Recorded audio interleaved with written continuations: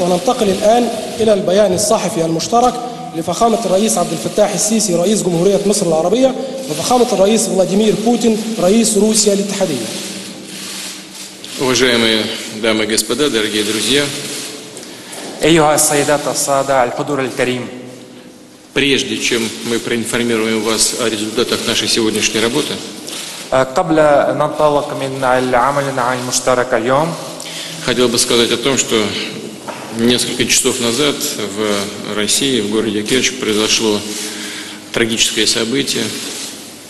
أنا أنا أود أن أقول أنه عدة ساعات آه، من اليوم آه، صار الك- صارت الكارثة في روسيا Э, В результате взрыва подготовленного взрывного устройства погибли люди, много раненых.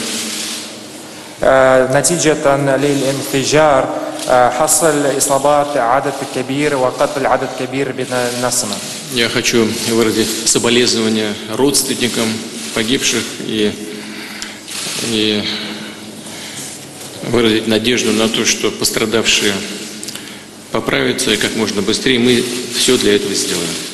وأنا أنا أود أن أعبر عن تعزية القلبية لعائلات ال- من قتل وأتمنى الشفاء السريع للمصابين.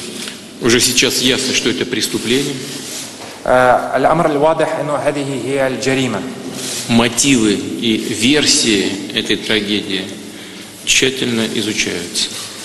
السبب آه، لهذه الكارثة آه، قيد الدراسة بكل التفاصيل. По результатам этой работы правоохранительных органов и специальных служб общественность будет проинформирована. ونحن سن- سنخبر المجتمع الروسي آه، بنتائج التحقيق من قبل الجهات الخاصة الروسية Уважаемые друзья, в знак памяти о погибших я прошу почтить их память минуты молчания. يا أصدقاء الأعزاء أنا أرجوكم آه، بوقوف آه، لدقيقة الحداد.